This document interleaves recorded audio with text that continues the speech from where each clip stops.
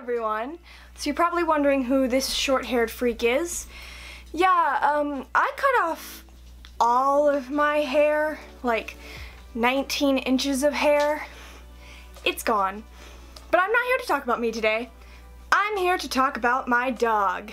Yeah, about four months ago, I don't remember if I mentioned him or not, I may have said I adopted a dog and said my next video will be about that. Well, we're finally to that point. But yeah, here we go. So I had been wanting a dog for a while for many, many, many reasons. And I saw this one dog at a local shelter online and I said, hey, parent of mine, what if we went and looked at this dog? And they were kind of like, okay, sure, we've said you can get a dog. This one looks alright. It was an Australian cattle dog mix, and that's something I had been interested in adopting. So we went to the shelter the next day. So we get to the front desk, and I tell them about the dog I'm interested in looking at. And they said, hey, there's already an application down for that dog, but you can go look at him anyway, and we'll show you all the other dogs if you're interested in one. So I said, sure, I'm not giving up this easily, you know. I want a dog. I'm sure I will find one. Let's at least go look at who's here today. So I go in and I walk down the first row. And the first dog I see is this mm, 11 pound brown thing labeled Chihuahua mix shaking in the back of its kennel. And because I didn't want a Chihuahua, and didn't want a dog that seemed that scared, I walked past and the next dog I saw was the one I had originally come for, the cattle dog mix. But I knew he was already taken, so I kind of looked at him and moved on, because at this shelter it's first come first serve unless there's a serious reason why you couldn't get the dog. So I walk around the rows, I see a couple dogs that catch my eye. There was a boxer mix, there was a greyhound, there was an English setter, there was a line of adorable pit bulls, but they were very, very large. And while we already have a large dog, I'm a small person. I'm only five foot three-ish. And I don't need a big dog, especially if I'm gonna move out and take this dog with me to an apartment. I need something I can afford to keep that's not, you know, 80 pounds. Though I do love me some big boys. I'm standing there in the middle of the kennels. All the dogs are barking. It's kind of loud. And my dad's like, do you want to go home? Is there anything else you want to see? Anyone who caught your eye? I think about boxer mix who was super chill, but so chill that he wasn't even interested when I walked by. I thought about the cattle dog, and then I was like, you know what? Let's go back this way for a second. So I go back to the shaking brown puppy that's in the corner of its kennel. And I look at him, and I look at my dad, and I go, that's not a chihuahua. So we sit there and I look at him and he's got this really shy appearance, but he's interested in us. He's looking at us. So eventually I just kneel down in front of the kennel and he takes up the courage to walk over to the kennel door and look at us. So he puts his paws up and I snap a quick picture to send to my friends. And I'll put that picture up now. And then um, the lady who had brought us back walks by again and she's like, hey, do you want to look at this dog? You can take him to the playroom if there's no cats in there.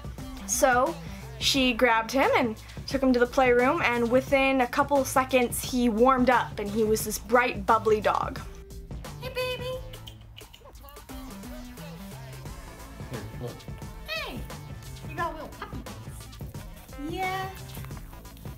So after a lot of playing and texting my mother and uh, taking lots of pictures with him, so we put our application down. And as we're up there, someone else says, oh, there's already an application down for that dog. And they go, no, that's for the Greyhound. And we were, we panicked for a second, but then they were like, oh no, it's for a different dog. And we said, oh, okay. So we fill out the forms and they're like, all right, we can't process today because we're closing tonight, but we'll reopen on Tuesday. We had gone on a Saturday morning and they're closed Sundays and Mondays. And eventually we get a call and it's the shelter saying, hey, we realize there's an application ahead of yours for Roscoe. So we all kind of scrambled for a second like, what if we don't get this dog? We really wanted him. Everyone was kind of okay with him. So we decide, let's just see what happens. They said, hey, we've already tried to contact the other applicant and they haven't gotten back to us. So if they don't get back to us soon, it'll roll over to you and we'll schedule him to be neutered and you can have him in about a week. So on that Tuesday, uh, we wound up doing a meet and greet with our current other older dog, an eight-year-old lab mix named Finley. You may have seen her somewhere on my channel before. We did our meet and greet with Finley, and Finley and at that time Roscoe got around, got along really well. So on that Tuesday, where we had expected to be bringing home the dog, and they had set up the meet and greet, they said instead, look, the other application, because we haven't gotten in contact with them, if they does if they don't get back to us in 24 hours, we'll roll forward with you, which was really reassuring after two days of panic of, oh my gosh, what if we don't get this dog? At that time, we had already bought dog supplies because he's a smaller dog. We had picked out a name, and um, his name is Denver. So now we're thinking, all right, we want to bring Denver home. Uh, it takes a week from the Saturday that we got him, so Saturday to the Tuesday we found out that he's probably going to be ours, to the next day finding out he definitely is. Ooh, just that stupid speck is on my chest, that thing, I hate that. So, um, by the next Saturday they said, yeah, you can come get him on that Saturday, which was the day before Easter. So, we went in and we got him and then we had to run very quickly back to our church. So the first place he ever got to visit was church. And as for Denver's backstory, well, apparently the shelter had had him from a very small puppy age and he was adopted at around eight weeks old. And that family took him in and named him Roscoe. The shelter had originally named him Brownie. And then the original owners apparently were too sick to take care of him, so they returned him by policy to the shelter.